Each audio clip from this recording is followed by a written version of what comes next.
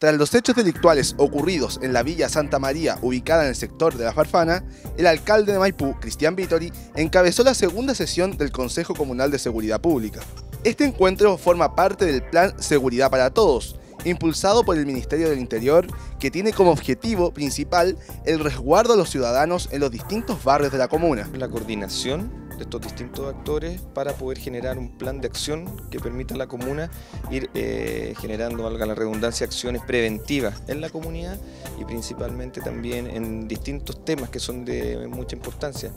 eh, la violencia de género, la violencia juvenil y principalmente todo lo que es el control de los delitos en la comuna. En la actividad, los representantes locales de las policías expusieron la situación delictual de nuestra comuna y destacaron la importancia del trabajo en conjunto para combatir este flagelo. Es importante eh, dar la coparticipación de las otras instituciones que están dentro de la comuna para que se den cuenta que el trabajo de seguridad, no solamente de carabineros o la policía de investigaciones, que es de la, toda la organización y particularmente de la comunidad en general. Se puede transparentar lo que es el trabajo de cada una de las instituciones